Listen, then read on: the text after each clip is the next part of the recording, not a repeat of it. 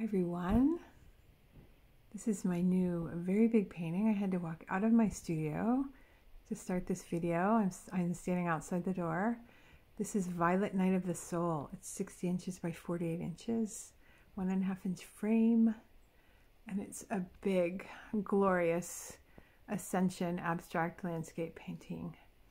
Beautiful palette of violet, rose, indigo blue, there's some moss green in this painting. There's some peachy, fleshy pinks, some warm tones under the painting. It's made with an acrylic base and oil on top. It's a glorious, beautiful, dramatic painting. Let's see, come in close here. I can't, there we go.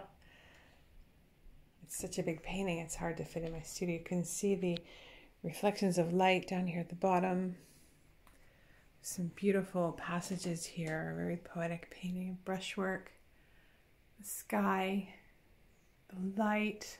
You can see some of the detail on the top here, coming around. beautiful points of light in this painting. You can see the warm undertone, underpainting coming through the oil on top as it, the light falls down like a waterfall here waterfall of light falling down. Another beautiful passage here. Here you can see some of these faint mossy greens that I used. And then this beautiful light at the bottom.